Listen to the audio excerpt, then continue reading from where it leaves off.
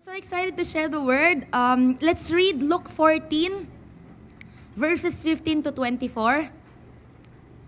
Luke 14. Ito po ay, ay ang parable of the great feast. And it says here, Hearing this, a man sitting at the table with Jesus exclaimed, What a blessing it will be to attend a banquet in the kingdom of God. So Jesus replied with the story.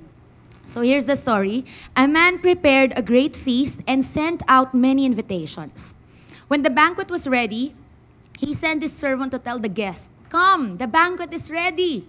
But they all began making excuses. One said, I have just bought a field and must inspect it. Please excuse me, pasensya na hindi na ako makakadating. Another said, I have just bought five pairs of oxen and I want to try them out. Sorry, hindi na ako makakadalo. Please excuse me. And another said, I just got married, so I can't come. So the servant returned and told his master what they had said. His master was furious and said, Go quickly into the streets and alleys of the town and invite the poor, the crippled, the blind, and the lame. After the servant had done this, he reported, There is still room for more. So his master said, Go out into the country lanes and behind the hedges and urge anyone you find to come, so that the house will be full. For none of those I first invited will get even the smallest days of my banquet. So ito po yung kwento, no? May mayamang lalaki na naghanda ng isang malaking salo-salo, malaking piging at nagpadala po siya ng mga imbitasyon sa mga piling tao. Sino na po dito ang na-invite ka sa isang malaking party? Ah, sige, wag na lang malaki. Na-invite ka sa party. Baka konti lang yung na-invite sa malaking party. Na-invite ka na sa isang party. Pwedeng graduation po yan, o kaya naman kasal. Amen? Hindi po ba kapag ka na-invite ka sa ganitong mga okasyon, mafe-feel mo special ka? Lalo na kung may invitation pa yan, naka, nakalagay pa yung pangalan mo, di ba? Ma-feel mo, wow, naisip nila ako, naalala nila ako, kaya naman, grabe, priority ako sa mga listahan, meron pa akong imbitasyon. So, ma-feel mo po yun na special ka at magre-ready ka, hindi ba? So, gagawin mo, mag-ready ka ng susuotin mo o kaya naman ayusin mo yung schedule mo para makapunta ka. Amen? Pero yung mga naimbita po dito sa kwentong binasa natin, ang dami po nilang dahilan at wala na pong nakapunta sa kanila. Ang sabi ng isa, hindi ko maiwan yung bukid ko eh. Ah, parang sa madaling salita, busy kasi ako sa trabaho, hindi na ako makakapunta, kakapromote ko lang kasi. Medyo hindi na ako available. Sabi po ng isa, inaalagaan ko kasi yung kalabaw namin. Hindi ko maiwan yung bahay namin. Inaasikaso ko kasi yung business. O kaya naman, sabi po ng isa, bagong kasal lang kasi ako. Hindi na ako available sa ganyan, hindi na ako pwede. Bumubuo na ako ng sarili kong pamilya. And in this story, we know that this banquet represents the kingdom of God. Amen? And I believe Jesus is telling us that there are people who doesn't understand the value of the kingdom. May mga tao po na nawala yung bigat, nawala yung halaga ng kingdom ni Lord sa kanila because they traded the kingdom of God sa mga bagay na to. Kung alam lang po nila yung napagpapalit nila, ano po. Pero ganoon naman po lagi, di ba? Kapag ka naipagpalit mo yung isang mas mahalagang bagay, mas importanteng bagay sa hindi ganong importante, ibig sabihin nawawalan na to ng bigat sa'yo. Hindi mo naman pagpapalit kung alam mong importante, di po ba? So, hindi na nila alam yung halaga o yung bigat ng pinagpapalit nila.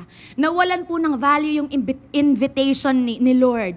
Nawalan ng value na si Lord yung pumili sa'yo, si Lord yung tumatawag sa'yo. Nawalan ng bigat yung kingdom. Amen? And they have so many excuses. Ang dami na po nilang rason, ang dami na, po, na po nilang ibang priorities. And they've taken the kingdom of God for granted. So right now, I wanna share a word entitled, Focus on the Kingdom. Everybody say, focus on the kingdom. Amen. Focus on the kingdom. Alam na alam po natin yung Matthew 6.33. Amen? Kahit yata hindi natin pinilit na i-memorize, so na-memorize po natin. Seek the kingdom of God above all else and live righteously and everything you need will be added unto you. That's the formula. That's the format. Sabi po doon, kapag ka inuna mo ang karyan ng Diyos, lahat ng bagay na kailangan mo susunod na lang sa'yo. Kasi po ang ginagawa nating formula, di ba? May gusto ako, may gusto akong marating, may gusto akong ma-achieve. So kailangan pagpapaguran ko yan, bibigay ko lahat ng lakas ko, talaga mag, magtatrabaho ako, And then, pagdating mo dito, pagod na pagod ka kasi ang layo-layo mo na sa Panginoon tapos walang resulta. But we know the formula. Seek the kingdom of God above all else and live righteously and everything you need will be added unto you. Sabi po sa The Passion Translation, so above all, higit sa ano paman. Sabi po dito, higit sa ano paman. Constantly chase. Sana hindi magbago yung paghabol po natin after the realm of God's kingdom and the righteousness that proceeds from Him. Then all these less important things, amen, will be given to you abundantly. God calls this less important things. Tinatawag po ni Lord ito na less important things. Ibig sabihin, hindi gaanong importanteng bagay. Ibig sabihin, you can actually live without them. Amen? Kaya mong mabuhay kahit wala yung mga bagay na ito. I believe po the most important thing in life is knowing what is ultimate and what is not. Isa po sa pinaka-importante sa buhay ay alam mo kung ano yung importante, alam mo yung may bigat, may halaga, at alam mo yung hindi gaanong importante. Ma- mag-uumpisa po na magulo ang isang buhay kapag ka hindi mo na alam kung ano yung ultimate at kung ano yung hindi. Nag-uumpisa po masira ang ang buhay ng isang kabataan kapag ka hindi na niya alam kung ano yung ultimate, kung ano yung tama at kung ano yung hindi. Amen? My, my prayer for this morning is, ang prayer po, that all of us will make the things, make the things that are valuable to the kingdom, valuable to us. Ang dalangin ko po, all the things that are valuable to the kingdom ay maging mahalaga din sa atin. Sana po, yung mahalaga sa langit, mahalaga din sa'yo. Sana yung may bigat sa langit, may bigat din sa atin. Amen? Sana yung pinaglalaban ng langit, yun din yung pinaglalaban natin. Ang masakit po kasi kapag ka natuturing nating ultimate, yung isang bagay na hindi naman. At natitake natin lightly ang isang bagay na importante at totoong may value at may eternal value. So based on the story, there are things that distract us from the kingdom of God. So first, makita naman po natin doon, material things. Amen? Isama mo na dyan yung looks, yung uso ngayon na, na fame, at syempre hindi nawawala sa uso yung money. I have nothing against sa mga bagay pong ito. Okay naman yan, pero kung yan ang gagawin mong ultimate sa buhay mo, may problema. Magkakaroon ng problema. Amen? And based on the story, isa po sa nagdi-distract sa atin from the kingdom of God from focusing on the kingdom of God, material things. Minsan po kasi madali tayong mag-invest sa ating itsura, sa image natin sa social media, sa grades, at sa pera. But we don't invest on our relationship with God. It says in Matthew 9, Matthew 6, 19 to 21, sabi po dito, Don't keep hoarding for yourselves earthly treasures that can be stolen by thieves sabi po dito, huwag kang mag-imbak, mag-impok ng mga bagay na pangmundo lang, pansarili lang.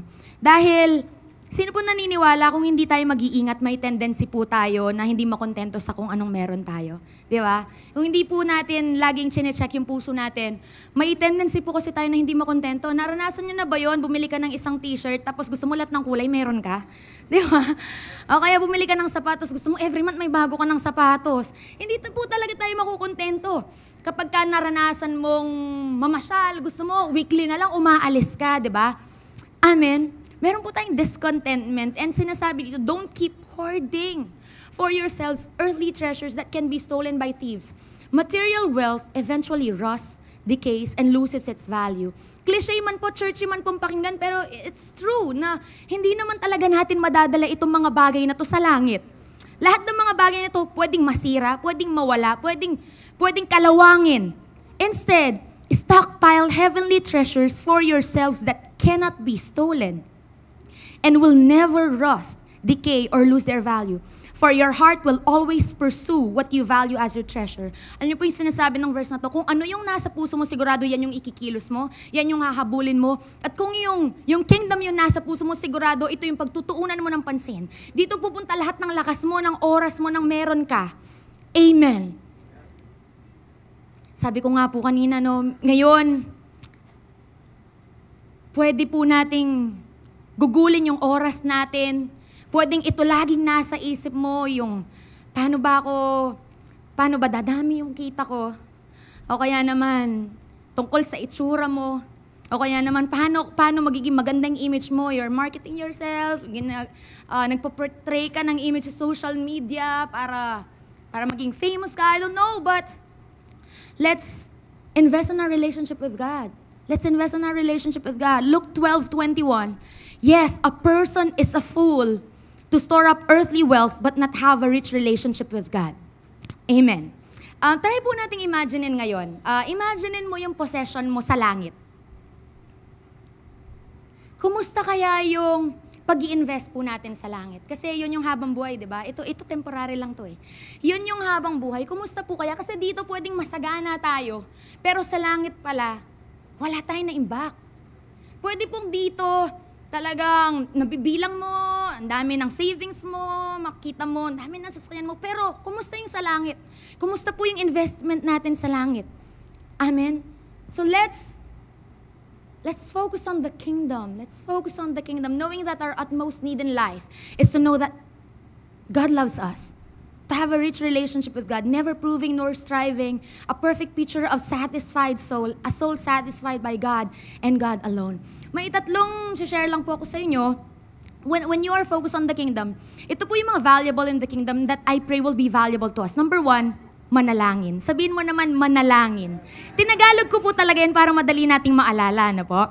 So, manalangin. Sabihin mo naman, manalangin. When you are focused on the kingdom, ito yung ginagawa mo. Kapag ka-focus ka sa kingdom, dahil ito po yung may eternal eternal gain. Ito po yung nag invest ka talaga sa langit kapag ka nananalangin ka. Actually po yung prayer napaka-underrated talaga. Kung, kung makikita lang po natin, malalaman natin kung ano yung nagagawa ng panalangin, siguro hindi na tayo titigil na manalangin. No? In heaven, God's power is unlimited. Sino pong mag-agree sa akin na si Lord, kaya niyang gawin lahat? Walang imposible kay Lord. Kahit yung pinakamahirap pang bagay, kaya niyang gawin. Amen? In heaven, God's power is unlimited. But on earth, it's not. God's power is limited, dependent, or manifested to the degree that His people praise. Amen. Grabe, ah, unlimited yung power ni Lord. Pero sinadya po niya na maging depende.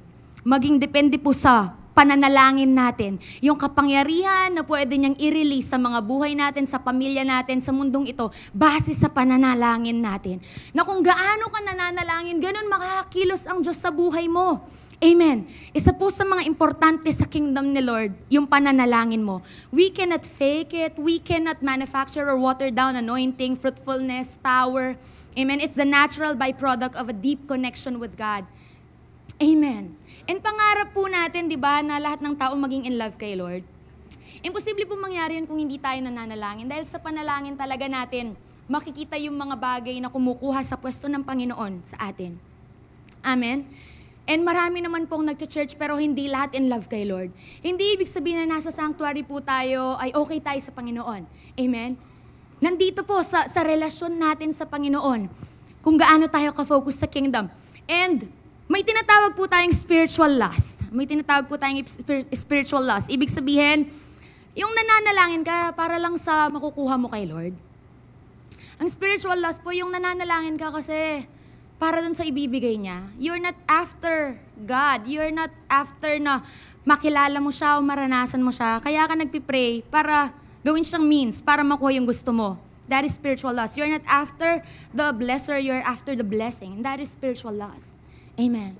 Sino po dito naranasan mo na or nasabi mo na sa sarili mo, ang hirap mag-pray? Lahat ba tayo naranasan na po yon? Even ako, naranasan ko na po yon, no?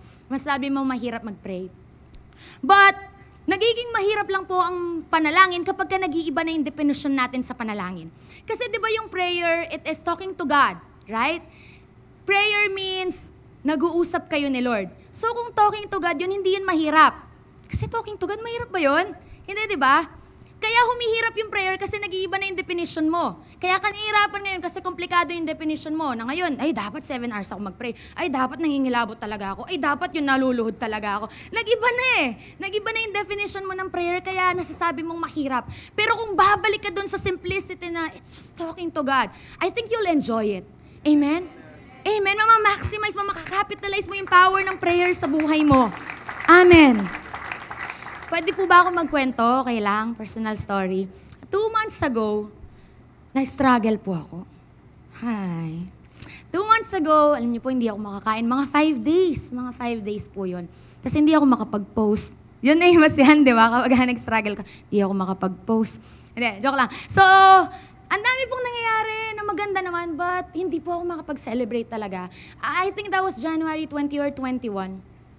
Um, nabalitaan ko po kasi na legalize na po yung abortion sa New York and 19 more cities in the United States. And yung klase ng abortion na legalize po is even trimester na yung baby, fully formed baby, pwedeng ipanganak na yan bukas, pwede pa rin siyang patayin at i-abort. And non-doctors can even perform it. Ang gagawin po nila, tuturukan nila yung bata ng acid sa kanyang skull o kaya sa kanyang torso hanggang mamatay siya sa sakit. Kung 24 hours po hindi siya mamatay, tuturukan siya ulit. And sino pong nag-agree na it is very demonic? Amen? It is very demonic. And na I just realized na naalala niyo po si Moses nung panahon niya, dahil may lalabas na Moses, pinapatay yung buong henerasyon niya. Pero walang nakapigil sa paglabas ni Moses para iligtas ang Israelites. Nung panahon ni Jesus, dahil may lalabas na Jesus, pinapatay yung two years old and below na mga lalaki dahil may lalabas na tagapagligtas. Anong meron sa henerasyon natin at sa panahon ngayon? Bakit ganito na lang po hinahadlangan ng kalaban yung henerasyon natin ngayon? Amen? Anong meron? Ano kaya yung gagawin ng Panginoon kung bakit ganito na lang yung pag-atake at pag-oppose sa generation natin ngayon? I believe something greater is about to happen. Do you agree with me? Amen? May matinding gagawin ng Panginoon sa atin na walang makakahadlang. Amen. Kaya kailangan nating manalangin. Kailangan po nating manalangin. Nung narinig ko po yun, sabi ko, sorry, sorry. Ang dami nating kailangan ipag-pray. Amen? Kahit po yung depression ngayon, mga suicide, divorce, nauuso mga kung ano-ano.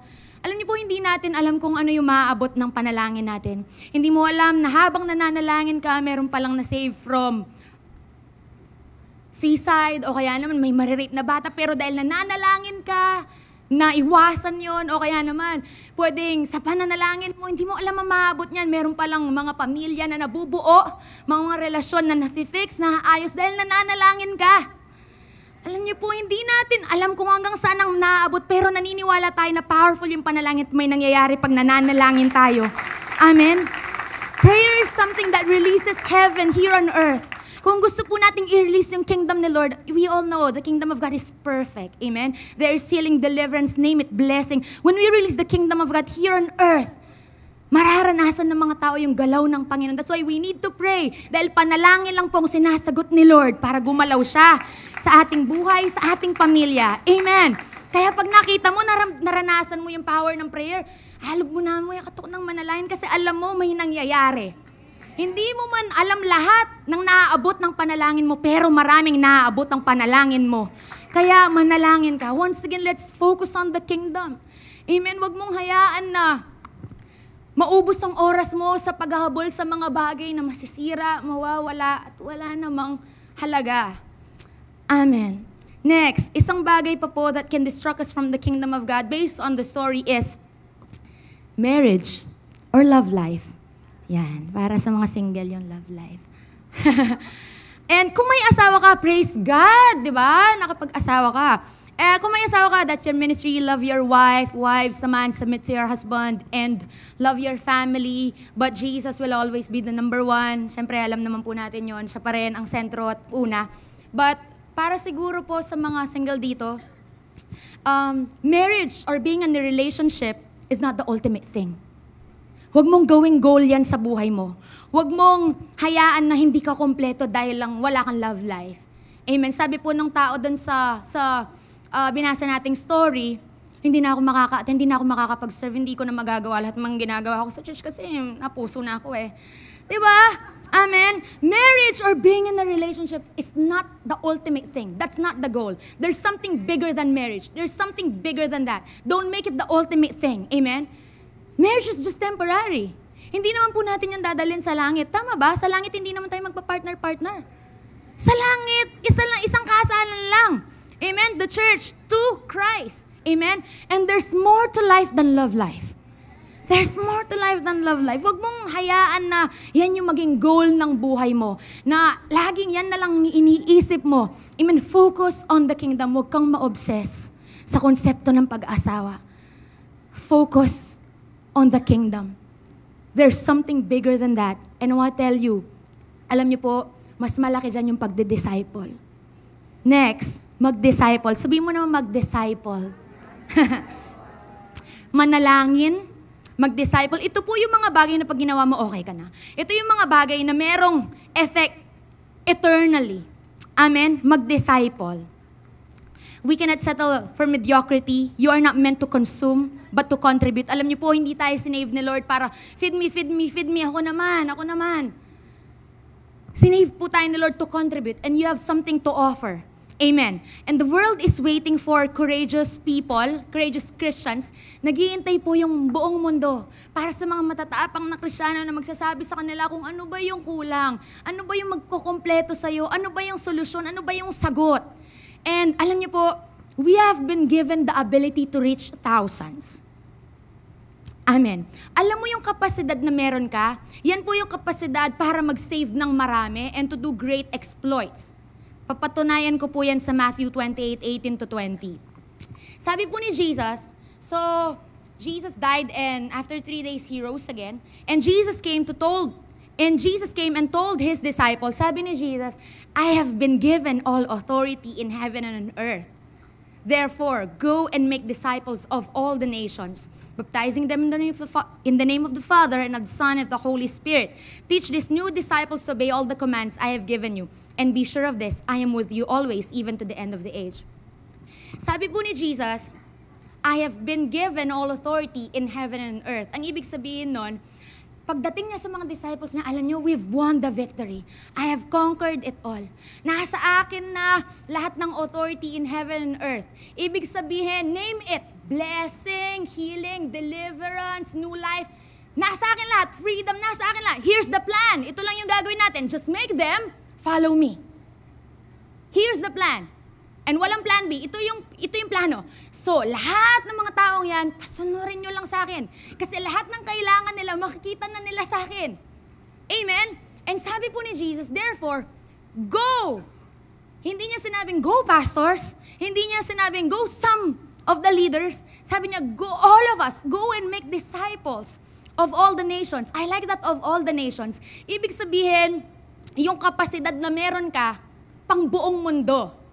If you will believe it, you will experience it. Yung, yung kapasidad na meron ka, hindi pang dalawa, hindi pang 20, hindi pang 50, hindi lang pang isang daan, hindi pang isang kwarto lang, hindi pang isang eskwelahan lang, hindi pang isang city lang. Amen. Ganon po yung nakadeposito sa'yo. Ganon yung kapangyarihan at kapasidad na meron ka. So make followers of Christ. And alam ko po lahat tayo, ito yung joy natin. It is thrilling to share in the joy of someone coming to Jesus. ba? Ang saya-saya po natin kapag may tumanggap kay Jesus, pa yung pumunta sa altar, o kaya naman nag-share ka tapos tinanggap niya. Tama po ba? It is wonderful to see God uh, bring new life to someone. But praying the prayer of acceptance is just the beginning. Becoming a Christian is just the first step. It doesn't end there. Because being a Christian is something you being a Christian isn't something you do one time. Hindi po yan minsan na lang, okay, ito na, and then give half-hearted loyalty afterwards. Being a Christian is a journey. Amen. Being a Christian is a lifestyle. Being a Christian, ito po yung susunod ka, nagpapabago ka, nagpapaturo ka, at walang katapusan yon. Amen. Alam niyo po kung hindi tayo magdi-disciple, wala pong totoong follower si Jesus.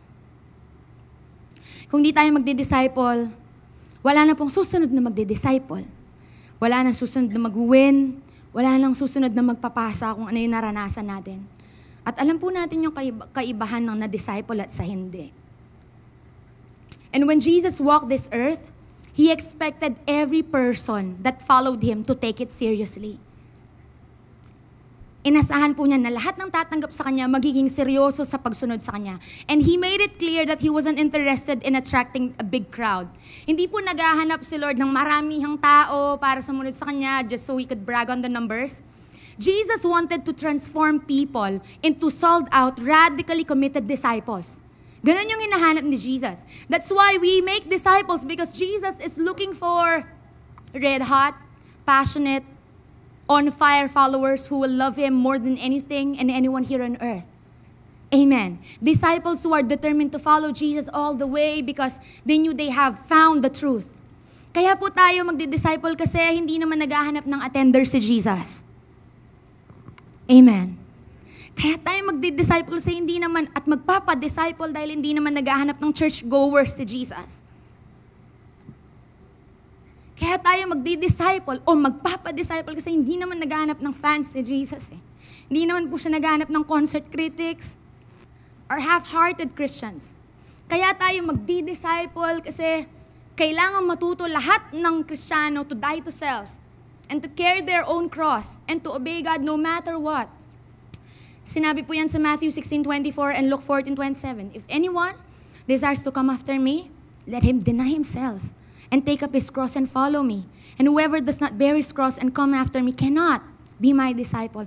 Alam niyo po, there's a huge difference between a believer and a disciple. Kapag kasi sinasabi mong believer ka, ito yung, a believer is someone who believes in Jesus, di ba? Ang deep. Ang deep ng explanation. A, be- a believer is someone who believes in Jesus. So, ibig sabihin, he may or may not attend church regularly. Pwedeng nag-attend siya, pwedeng hindi. Basta naniniwala siya. Amen? A believer may or may not study the Bible. Pwedeng naniniwala ka pero hindi ka naman nagbabasa ng Bible. Pwedeng nagpipray ka or hindi ka naman nagpipray pero naniniwala kay Jesus, right? Uh, a believer may give tithes or and offerings or not. Pwedeng nagtatites ka, pwedeng hindi ka naman, pero believer ka. And so on. He may or may not have said a prayer asking Jesus to save him. A believer may or may not have allowed Jesus to transform him. Pwedeng sumusuko siya, pwedeng hindi rin siya sumusuko. And it's so tricky to determine whether or not a believer is truly saved. Why? Because after all, Satan believes in Jesus too. Amen? But a disciple, a disciple is someone who is fully committed to obeying Jesus in every part of his life. Did you get that, church? Amen. Ibig sabihin, Jesus is not part of his life. Jesus is his life. Amen. Kaya naman po in New Testament days, a disciple gave up everything in order to follow his master. Ganun po yung ginagawa kapag ka gusto niya magpa-disciple, iiwan niya yung buhay niya, iiwanan niya yung nakaraan niya, iiwanan niya yung dati ng buhay, iiwanan niya kahit yung pamilya niya para sumunod sa rabay niya. So the question is, who are you discipling? Who are you discipling? Let's focus on the kingdom. Who are you discipling? Who are you pouring your life into? Kanino mo binubuhos yung oras mo? Kanino mo binubuhos yung buhay mo?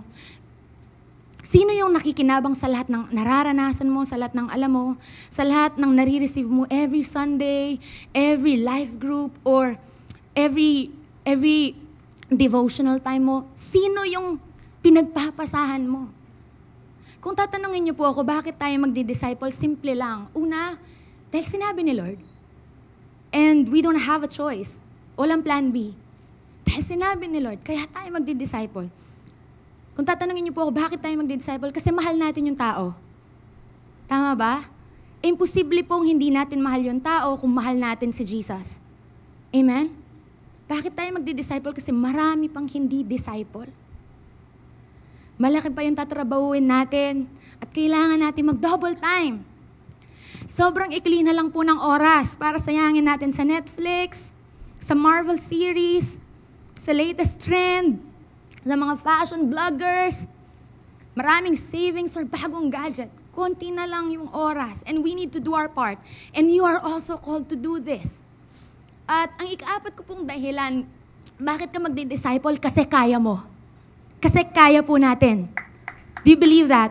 Kaya tayo magdi-disciple kasi kaya po natin. Amen. We have what it takes to make disciples. We are equipped to effectively develop disciples.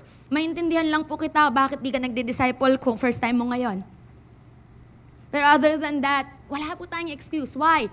Because first, we carry the kingdom of righteousness, peace, and joy wherever we go. So imagine that you are a carrier of the kingdom of God. Kahit saan ka magpunta, you can release that joy and peace and, and solution, answers. Yun yung ikaw. Yun ka. Amen. You have what it takes. What else? We have power over the devil who keeps people in bondage. Yung mga tao po that they are in bondage, uh, may, may sakit, alam mo, isang rebuke mo lang, mawawala lahat ng yan. Kinakatakutan ka ng kalaban at ikaw yon. At kaya mo mag-disciple. We have love that causes people to know they are cared about. Kung pag-ibig lang pong pinag-uusapan, alam na alam mo yan kasi naranasan mo yan sa Panginoon. Amen? Huwag mo sabihin sa akin, hindi ko may explain May explain mo kasi ikaw mismo nakaranas niyan eh. And we have grace that gives them the power to change. Sino po dito nagkamali at binago ng Panginoon? Hindi ba? Alam mong i-release yan. You have that grace. You know that grace. Amen? Na magpapabago din sa kanila. At kung sakasakaling pumalpak ka, pumalpak sila, we have mercy that picks them up when they fall. Amen? Hindi ka matatakot na na magkamali sila dahil alam mo yung kababagsakan, it's called mercy. Amen. We have courage that stands in the face of violence and brings peace. Meron po tayong kakaibang tapang, pinangkukuhanan natin yon dahil mabuti ang Diyos, tapat ang Diyos. Amen? And we have wisdom that shows people how to live. Amen. Kahit ano pa yung pinagdadaanan yan, alam mo, alam mo kung paano sagutin yan. And most of all, we have an awesome Father who knows how to melt the hearts of His people. Amen. Kahit gaano pa katigas yung puso niyan, you have what it takes Dala-dala mo lahat. Lahat ng kailangan nila nasa iyo. We have the answers to the world's problems. Amen. Meron po tayo lahat ng yan. Kaya kaya mo. Kaya mo mag-disciple. Kaya this year mamumunga ka. This year mamamayagpag ka. Huwag kang papayag na hindi ka mamunga. Amen. Dahil hindi po kalooban ni Lord sa'yo yon. Amen. That's your inheritance. Claim it. Dahil sa pangangalaga mo, hindi sila mapapabayaan, di ba? Amen. Sa pangangalaga mo, hindi sila mapapabayaan because you have what it takes. Maybe I'm speaking to some of the leaders here na tumigil ka sa pagde-disciple, mag-disciple ka ulit. Or kung meron pong takot dito, you have the courage. Nakadeposito na po lahat ng pangangailangan natin. Amen? Just believe it. Just believe it. Try it. Meron dito kung just jump off the cliff. Do it. Do it. You can do it. Amen. And lastly, isa pa pong bagay na pwedeng mag-distract sa atin from the kingdom of God is achievement or success. Alam niyo po, God wants us to succeed. Lahat tayo gusto maging successful ng Panginoon. Pero, nagkakatalo po kung ano ba yung meaning ng success para sa'yo. Kasi baka yung success para sa'yo, malaking bahay, magarang kotse, maagang retirement, tapos, o kaya naman, posisyon, malaking savings sa bangko, o kaya naman may titulo sa pangalan mo na nakadikit sa pangalan mo. Baka ganun po yung success. But real success is to be where God wants you to be and to do what God wants you to do. That is real success. Yung totoong success po sa buhay, yung nandun ka sa kalooban ni Lord, ginagawa mo yung pinapagawa niya at the specific season of your life. Amen. That is real success. And real success means how many lives were blessed? How many lives benefited from you, from your life? Ilang tao ba yung nabibless dahil buhay ka? Ilang tao ba yung nakikinabang dahil nandyan ka? That is real success. Amen. Kaya naman po, third, first, manalangin. Ito po yung mga bagay na may bigat sa kingdom ni Lord. Ito yung mga bagay na may effect and eternal gain. Manalangin, ito yung mga bagay na dadalhin natin sa langit. Mag-disciple at mag-serve. Sabihin mo naman, mag-serve. Ang dali lang, di ba? Manalangin, mag-disciple, mag-serve. Alam niyo po, we can't miss the most appealing activity here on earth in the eyes of God. Kung meron pong isang bagay na nakukuha ang atensyon ng Panginoon, ito po yung pagsiserve or paglilingkod. Amen? Tuwang-tuwa si Lord kapag ka naglilingkod po yung mga anak niya. And Jesus Himself said, I came here to serve, not to be served. Sino po dito nung bata kayo, naglaro kayo ng, ano bang tawag, hindi ko alam yung tawag. Basta, nung bata kayo naglaro kayo na, ako yung teacher, tapos, aha, ako, police. Ako, sundalo. Di ba? Ay, ako gusto ko maging architect. O kaya, gusto ko maging engineer. Di ba, ganun po tayo ng bata tayo, nag-aagawan tayo, di ba, ng kung sino yung sino. And walang, walang bat, wala pa po ako nakitang bata, hindi ko alam, baka meron na po kayo. Wala pa ako nakitang bata na nag-aagawan para, eh, gusto ko maging basurero. Oh, basurero na lang ako. Eh, dapat ako yung taga-wales. Eh, pwede bang ako yung taga-pulot ng kalat? Eh, gusto ko talaga maging... Wala, di ba? Sino pong... Nakara, nakaranas na po ba kayo ng ganon? Wala, di ba? Amen? Because children never fight over who is going to be the garbage man. We learned that in church, and it is killing us. Amen. Pag naglilingkod ka, hindi kasi pwedeng, hindi kasi pwedeng makita ka eh. And it is killing us. Alam niyo po yung mga, may mga taong hindi makapaglingkod kasi insecure. Why? Kasi feeling po nila kapag ginawa nila yung maduduming trabahong to, malilit na bagay na to, dirty job, feeling po nila bumababa yung image nila. Naku, hindi po kabawasan sa pagkatao mo yung paglilingkod sa Panginoon. In fact, kapag ka naglilingkod ka, pinapalakpakan ka ng buong langit. Amen. Pag naglilingkod ka kasi, hindi ka pwedeng mamili ng posisyon, hindi ka pwedeng head agad. Hindi ka pwedeng mamili ng trabaho, and it is killing us. Pag naglilingkod ka, magkakampi kayo lahat. Hindi kayo pwedeng magsapawan. And it is killing us. Hindi na po ako magtataka no, kung pagdating natin sa langit, yung mga nakaupo sa trono, saka yung mga nasa loob ng city, yung mga taong hindi kilala, nameless, no? Yung mga taong nasa behind the scene lang, tapos gumagawa kahit wala nakaka-appreciate, wala nakaka-recognize. Pero sa langit po, malaki yung bigat nun. Amen. Um, church, there's a reason why we were given the Comforter. There's a reason why we were given the Comforter at tinawag ng Holy Spirit ang sarili niya na comforter.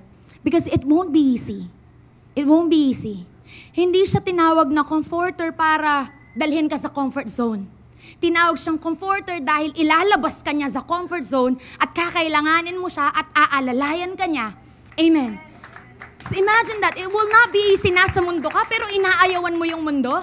Kaya kailangan mo ng comforter. Amen? And don't run after comfort. Huwag mong hanapin, huwag kang maghanap ng komportabling buhay. Hindi ka para sa komportabling buhay. Amen. The moment na maging komportable ka, sa totoo lang nawawalan ka. Nawawalan ka ng purpose, nawawalan ka ng calling. Amen? Because advancing the kingdom of God will cost you everything. Amen. Itutuloy ko po yung verse sa banquet. Ito po yung kasunod nun.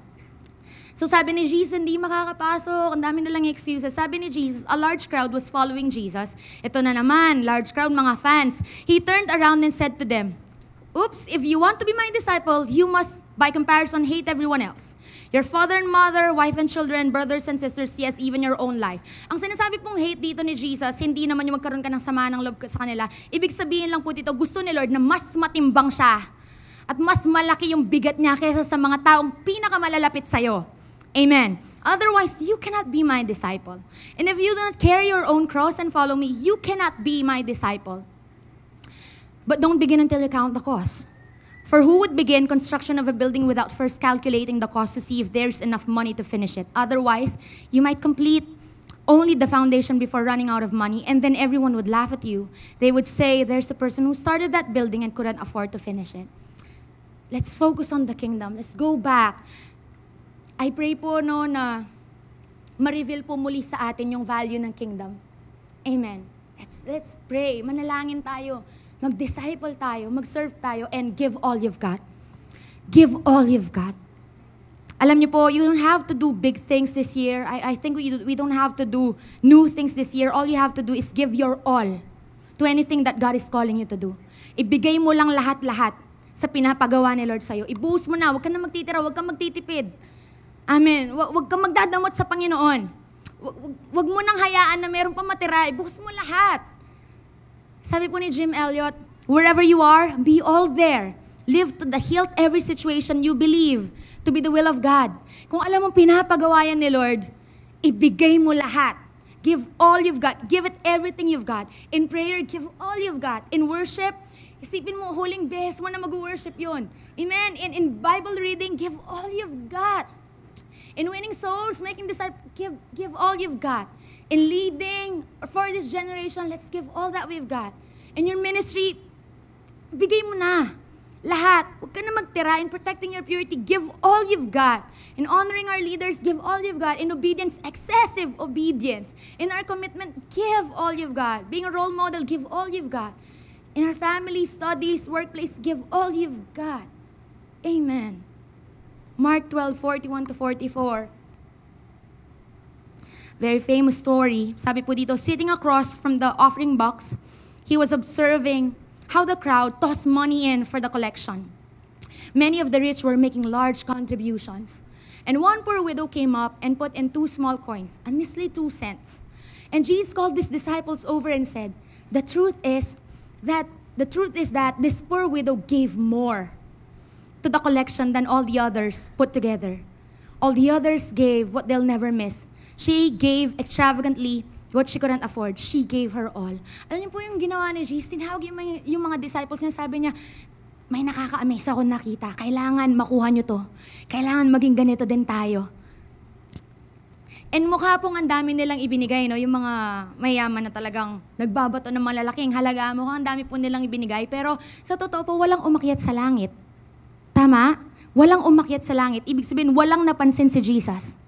Walang napansin si Lord. Pero itong babaeng to, simple lang. Pero lahat-lahat. Amen. Lahat-lahat. Sabi po ng scholar, after niyang ihulog to, pwedeng mamatay na siya kasi wala na siyang pangkakain. Amen. I think it's about time na itaya mo na yung buhay mo para sa pinapagawa ni Lord sa'yo. Huwag mo nang pagdamot yung pwede mong maibigay. Give all you've got.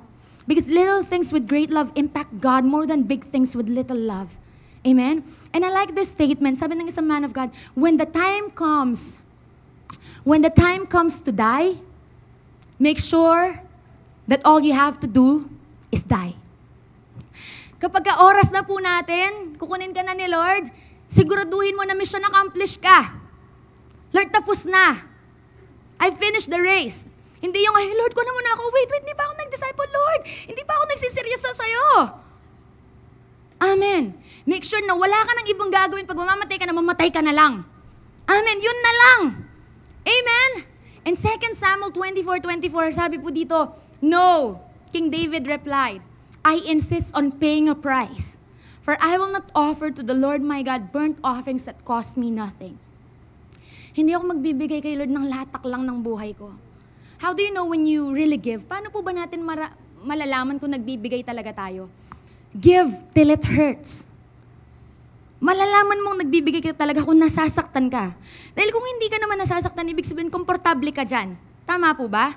Kung hindi masakit, ibig sabihin latak lang yan, sobra-sobra lang yan. Kung hindi ka nawawalan, sobra-sobra mo lang yan, hindi pa yan yung buong buhay mo.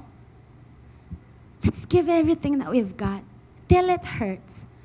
And you do not control when you die or how you die, but you do control what you die for. Amen. Hindi po natin alam kung gaano kaikli na lang yung buhay natin dito. Paano tayo mawawala dito. Pero we have complete control over our behavior kung para saan tayo mabubuhay. Para saan natin ibibigay yung buhay natin. Amen? Jesus died for us. Let's, let's die for Him. Christ laid down His life for us. Let us lay down our lives for the church. Minsan lang po tayo dadaan dito. Minsan lang. At mabilis lang. Sobrang bilis lang. Last verse, Philippians 2.17. Sabi po ni Paul, But I will rejoice even if my life is poured out like a liquid offering to God over your sacrificial and surrendered lives of faith. Ang sinasabi po ni Paul dito, ito yung kaligayahan ko, yung maubos ako para sa pinapagawa mo sa akin, Lord. At maraming makinabang ng buhay ko dahil nagpaubos ako. Itinaktak ko yung buhay ko hanggang sa kaduluduluhan, hanggang sa maging ubos na ubos ako para sa'yo. Amen. Lord, I pray that you will reveal the value of your kingdom, Lord, again to us, Lord God. Patawarin niyo po kami, Lord, kung mayroong kumuha ng pwesto mo sa aming puso. Patawarin niyo po kami kung may mga inuna kaming mga bagay na hindi naman importante at wala naman talagang halaga kumpara sa iyo, Panginoon. Lord, patawarin niyo po kami, Lord, kung merong nauna kaysa sa iyo, Panginoon. Right now, Lord, reveal your, the importance of your kingdom. Reveal the value, Lord. Ipakita niyo po sa amin ulit, Panginoon, ang halaga. Dahil nung una po namin kayong maranasan, Lord, handa po namin iwan lahat ng to, Lord. Nung una po namin naranasan yung kapatawaran, Lord, yung pag-ibig na galing sa iyo, Panginoon, handa namin kalimutan lahat ng to, Panginoon. I pray, Lord, habang tumatagal po kami sa aming relasyon sa inyo, Lord, walang magbago, Panginoon. At lalong lumalim lang po yung pag-ibig namin at pagsunod po namin sa inyo, Panginoon. Lord, I pray that you dethrone anything that takes your place in our hearts. Whether it be material things, personal ambitions, personal dreams, or a person. Lord, dethrone. Dethrone and take your rightful place. Lord, we dethrone them all right now, Lord. We dethrone them all right now, Lord God. We just want to give all that we've got to you, Lord. want to give everything to you, Lord. All of us, Lord. Let's lift our hands, church,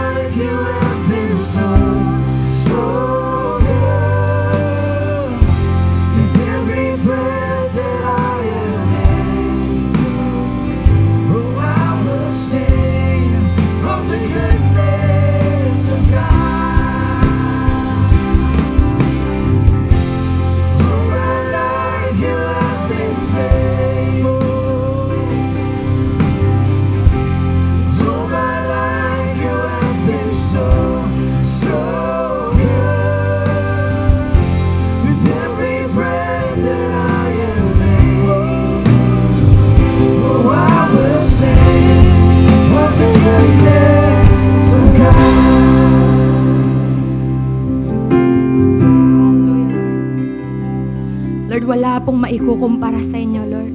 Wala man pwedeng tumapat sa iyo, Panginoon. You're the most important person in our lives, Lord. And our relationship with you is the most important relationship in our lives, Lord God. Jesus, we love you. Jesus, we love you. Give you praise, Lord. Let your will be done, Lord. Let your will be done upon our lives. Let your will be done. We are here to follow you. Nandito po kami para sundin ka. Dito po kami para i-glorify ang pangalan mo, Panginoon. Not our will. Let your will be done. Lord, maraming salamat po. You are so good, Lord. Alam po namin na hindi na namin kailangan mag-alala sa ibang mga bagay pa as we follow you, Lord, everything else, Lord God, everything that we need, Lord God, will be added into our lives, Lord. Effortless. Because of your goodness, because of your love, Father. God, we honor you, we love you, Lord. In Jesus' name we pray. Everybody say, Amen and Amen. Amen.